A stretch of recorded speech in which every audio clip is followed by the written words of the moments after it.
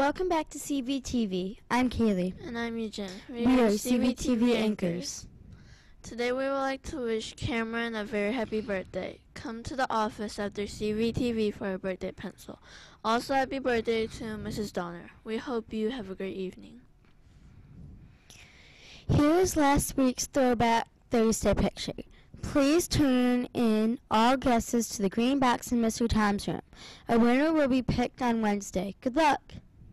Don't forget that tomorrow is the roller is the Crestview Roller Cave night. Come for a night of fun with friends. It will cost five dollars to skate for the evening. We will see you there.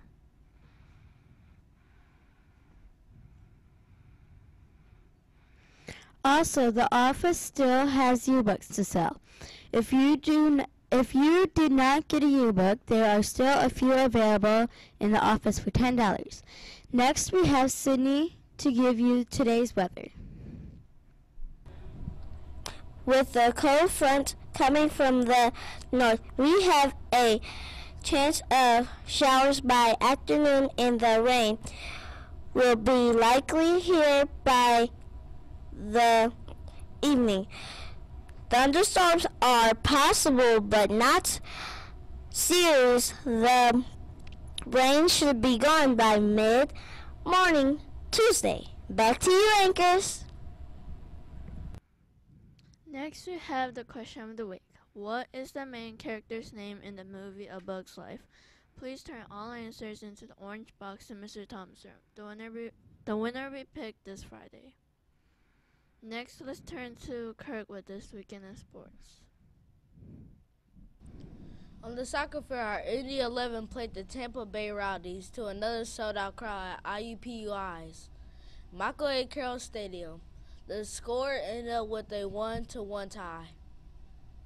On the hard court, our Panthers are looking to bounce back from the disappointing loss to the Atlanta Hawks in the first game on the first round of the NBA playoffs. The team will play tomorrow night in front of the home crowd at 7 o'clock p.m.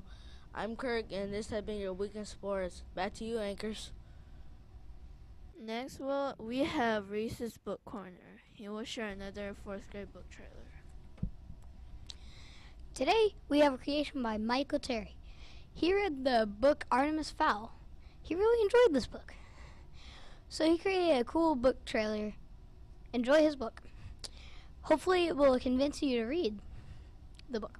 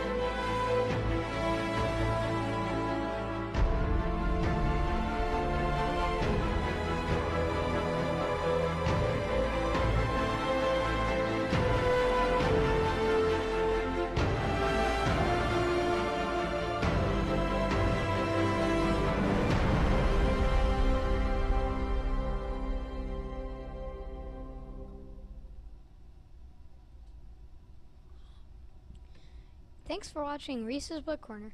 I look forward to seeing you another to to sharing another book with you next time. Back to you, anchors. Next, we have Today in History. On this day in 1789, John Adams was sworn in, the, in as the first Vice President of the United States. Our thought of the day comes from NFL quarterback Tony Romo, who turns 34 today. He says, I think you use the negative things that happened from the year before and from other years to to spur you to do the things you need to do to take the next step.